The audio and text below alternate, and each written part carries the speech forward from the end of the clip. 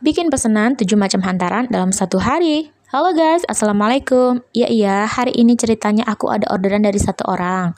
Pesannya 7 macam kek atau hantaran. Karena simpanya order nggak pakai ruwet, nggak pakai babi bu, jadi si tukang kue ini senangnya minta ampun loh guys. 7 macam kuenya apa aja sih?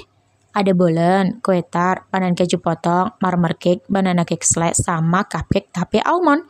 Masya Allah, bener-bener ya, semua ini aku kerjakan sendiri loh capek, ya jangan ditanya, pasti capek. Namanya juga kerja, ya kan? Rebahan aja capek, apalagi ngapa-ngapain. Yang pertama, aku bikin bolen, karena menurutku dari semua macam cake ini yang paling rumit. Setelah itu, aku bikin biskuitnya kue tar. Bikin biskuitnya dulu dari brownies, nunggu beberapa jam, kalau udah ngeset, baru bisa dihias.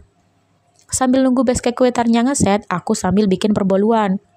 Sebenarnya orderannya nggak begitu ruwet, Cuma ya kan ada beberapa macam, jadinya agak lumayan encok juga ini pinggang.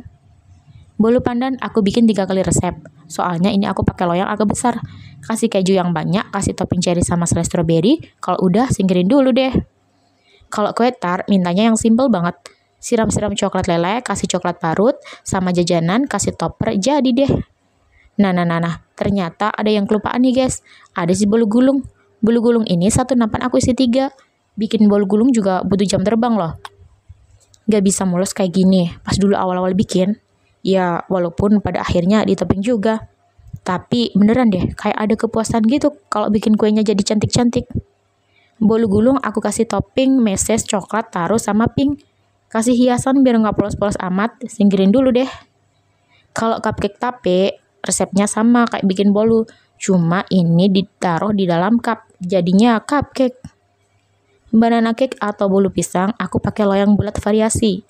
Tinggal potong-potong, masukin plastik, tata dalam nampan, sudah deh.